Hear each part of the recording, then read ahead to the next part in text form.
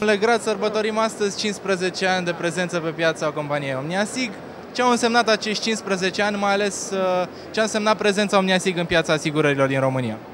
Prezența Omniasig în piața asigurărilor, după părerea mea, a reprezentat cel mai mare succes de o companie, realizat de o companie privată în acest interval de timp.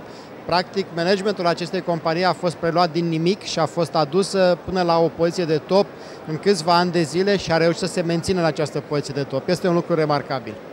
Și pentru relația dintre Omniasig și compania pe care o reprezentați, uh, ce a, ce a, ce a însemnat? Uh, relația dintre Omniasig și compania pe care o reprezint cred că ar trebui să se mai îmbunătățească. La acest capitol am avea lucruri destul de multe de îmbunătățit. Și peste 15 ani, unde, unde estimați că va fi Omniasig în piața asigurărilor din România?